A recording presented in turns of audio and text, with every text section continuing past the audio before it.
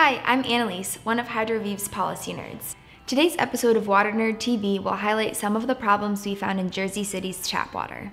There's a lot of things going on in Jersey City's tap water, but the main things we want to talk about are lead, chromium 6, disinfection byproducts, and chloramine.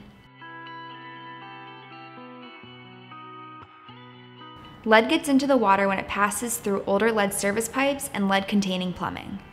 Recent sampling for lead in Jersey City found a 90th percentile concentration of 7.4 parts per billion, although no samples exceeded the action level of 15 parts per billion. The American Academy of Pediatrics states that there is no safe level of lead for children. Next is chromium 6, also known as the Erin Brockovich chemical.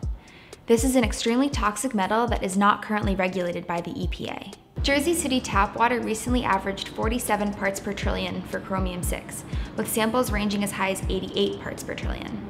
These levels are double what the state of California's toxicologists have determined to have a negligible impact on cancer risk.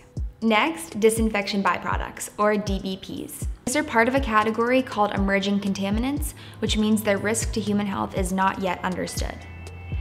DBPs form when chlorine-based disinfectants react with naturally occurring organic matter.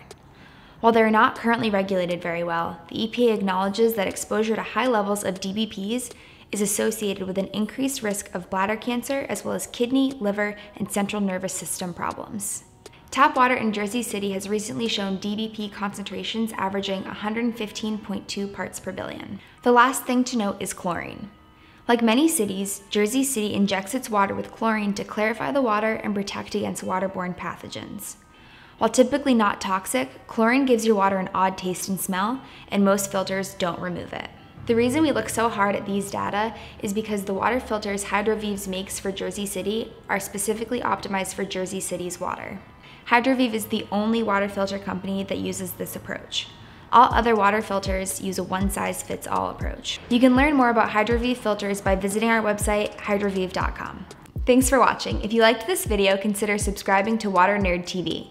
Our videos debunk scams, give you tips to improve your home's water quality, and notify you with water quality alerts. See you next time.